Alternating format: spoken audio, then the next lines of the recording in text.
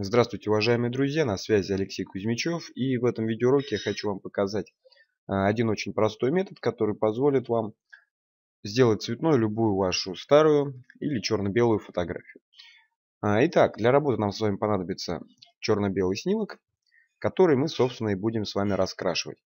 А, итак, в первую очередь давайте создадим корректирующий слой. Цветовой тон насыщенность. И с его помощью мы сейчас с вами придадим оттенок кожи нашей модели. Для этого ставим галочку здесь напротив пункта тонирования. И как видите, фотография сразу же у нас приобрела уже вот такой вот красноватый оттенок. Теперь нам необходимо подогнать оттенок таким образом, чтобы он был а, наиболее естественным для кожи. Перетаскиваем ползуночек цветовой тон вправо и следим, как у нас меняется тон. Можно пока оставить так. В дальнейшем мы сможем в любой момент подкорректировать этот оттенок. Поэтому пока что оставляем так. Закрываем данный корректирующий слой и заливаем его черным цветом. То есть маску этого слоя заливаем черным цветом. Выбираем на палитре черный цвет и нажимаем комбинацию Alt-Del. Вот таким образом. Теперь приближаем. Выбираем инструмент кисть прозрачности нажим ставит на 100% и начинаем прорисовывать кожу нашей модели. Цвет для кисточки обязательно ставим белый. И уже вот таким вот образом начинаем здесь все это дело прокрашивать. Также заходим и на брови. В дальнейшем можно будет их немножечко э, обесцветить, чтобы добавить другой оттенок. Но пока что мы этого делать не будем. Пока что мы закрашиваем здесь все. Единственное, не залазите на глаза. Вот аккуратненько работайте вокруг них. Вот таким образом. То же самое делаем и на левом глазу модели. Где нужно, берем кисточку меньшего диаметра и прорабатываем более аккуратно эти области. Так, переходим теперь ниже. Также и прокрашиваем губы. В дальнейшем мы придадим им другой оттенок. Ну, пока что все это дело мы закрасим. Вот таким вот образом. Так. Так. Если вы не уверены, что полностью закрасили а, какой-то участок, вы можете зажать клавишу Alt и щелкнуть по маске. Таким образом вы увидите те участки, которые у вас остались не закрашенными. И вы их можете вот так вот быстренько закрасить, как я сейчас это делаю. И таким образом вы будете уверены в том, что у вас все участки остались закрашенными. Чтобы вернуть прежний режим, также зажимаем клавишу Alt и щелкаем опять по маске. И можно продолжать работу дальше. Теперь переходим к шее. Точно так же здесь ее прорисовываем. А, аккуратно работайте с контурами, чтобы не залазить на другие детали.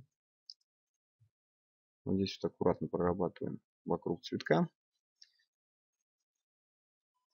Будет гораздо удобнее, если вы будете работать с планшетом, а, потому что с мышкой вам будет немножечко это делать несподручно. Поэтому я рекомендую вам воспользоваться планшетом для этих процедур.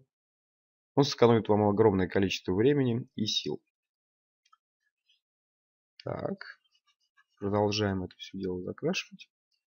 Уменьшаем диаметр кисточки и прорисуем теперь вот этот вот контур.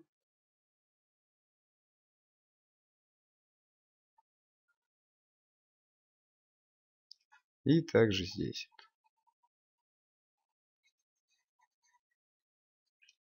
И теперь большим диаметром уже можем смело закрашивать оставшиеся участки.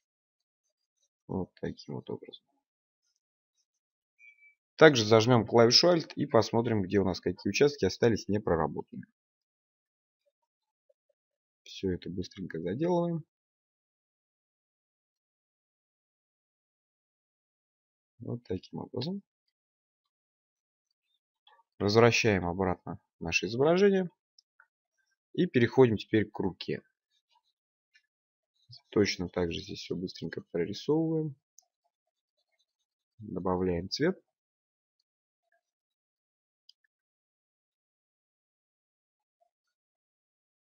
Так.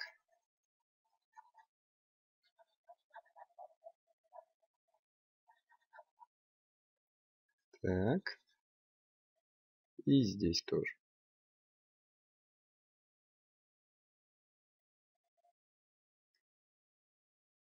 Смотрим, не пропустили ли мы какие-то области. Здесь все отлично. Давайте посмотрим, где у нас еще остались участки с кожей. И также их прорисуем. Еще вот здесь вот у нас рука. Также ее необходимо нам прорисовать. Так, сначала проходимся вдоль контура, чтобы не залезть на одежду. И теперь уже большим диаметром кисточки прокрашиваем другие участки.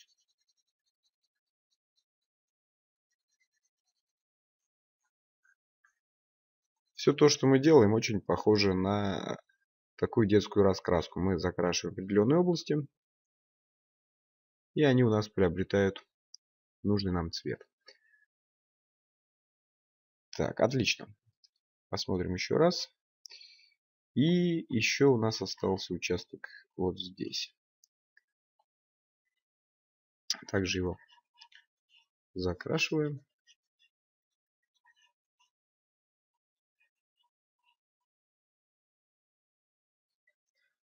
И с кожей мы с вами закончили. Теперь давайте немножко уберем э, эффект с бровей.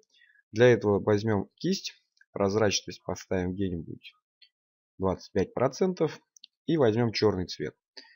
И аккуратненько пройдемся по бровям, чтобы убрать с них а, коричневатый оттенок, чтобы сделать их такими более черными.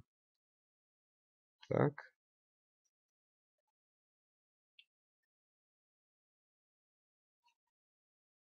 И также с другой стороны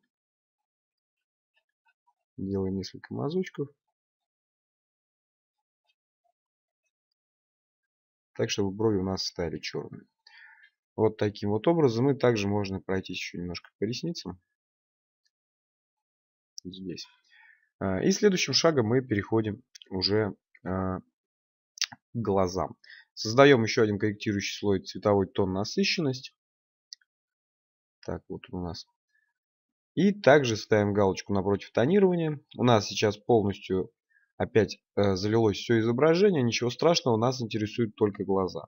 Мы подбираем цвет для глаз. Ну, я думаю, где-нибудь вот такой вот цвет нам подойдет. Закрываем данный корректирующий слой, заливаем его черным цветом, нажимаем Alt-Del. И при помощи белой кисточки прозрачность вернем на 100%. Проходимся по зрачкам модели. Вот таким образом мы делаем их уже цветными, как вы видите. Точно так же, если вы решили поменять цвет, можете опять вернуться в корректирующий слой цветовой тон насыщенность и уже здесь подобрать тот цвет, который вам нужен. А, просто перетаскивая вот этот верхний ползуночек, как вы видите, вы можете изменять оттенок по своему желанию. В данном случае я хочу оставить глаза голубыми и немножко понизим насыщенность, чтобы они у нас смотрелись более естественно. Вот примерно так. Теперь закрываем и посмотрим на результат. Как вы видите, вот до и вот после. Следующим шагом давайте прорисуем э, листик у нашего цветка. Также создаем корректирующий слой цветовой тон насыщенность. Ставим тонирование и подбираем цвет уже для листика здесь. Э, выбираем тот цвет, который нам подойдет. Давайте, к примеру, возьмем пока что такой. Если он будет смотреться не очень хорошо, мы его потом подкорректируем. Заливаем маску черным цветом и точно так же при помощи кисточки начинаем прорисовывать уже листок. Вот таким вот образом.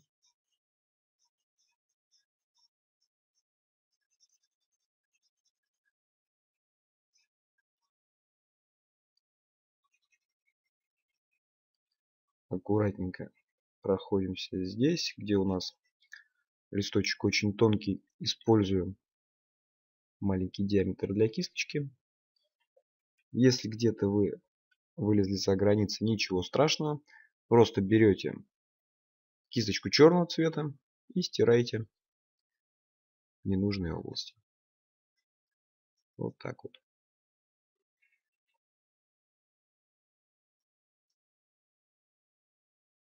Так.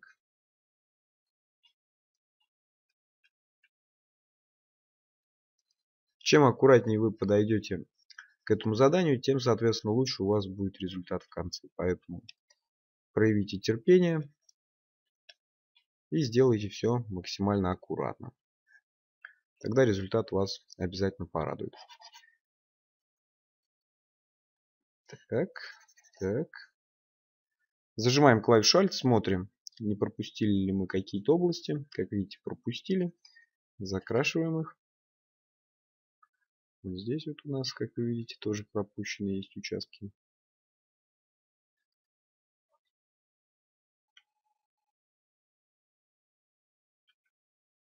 Так, здесь это все дело также подредактирую.